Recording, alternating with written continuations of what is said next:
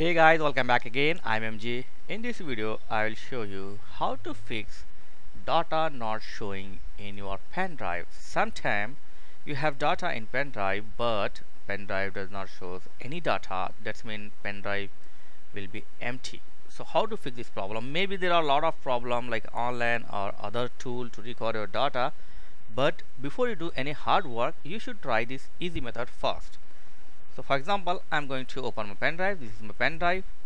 Open your pen drive here.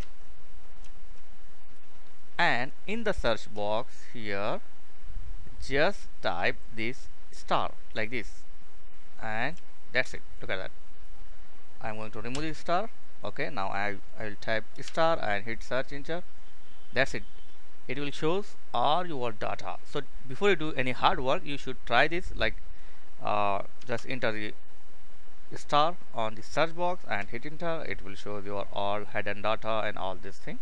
If this not work you can go with the other option like online tools other recover software to recover your data all this thing. So thanks for watching. See you next video. And please like share and subscribe. Thank you very much